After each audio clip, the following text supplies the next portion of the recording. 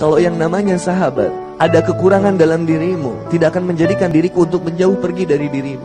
Dan kalaupun ada kelebihan dari dirimu, aku yang akan menjadikan mengingatkanmu untuk kemudian. Jangan sampai engkau terlena dengan puja dan puji manusia. Masya Allah, itulah sahabat.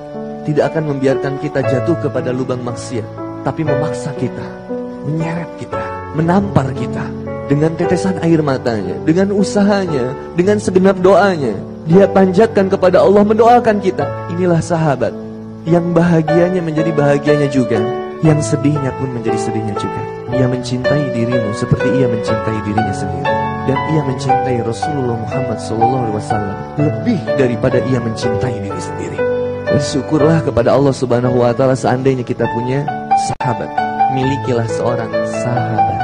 Sahabat yang akan membimbing kita dalam ketaatan kepada Allah Subhanahu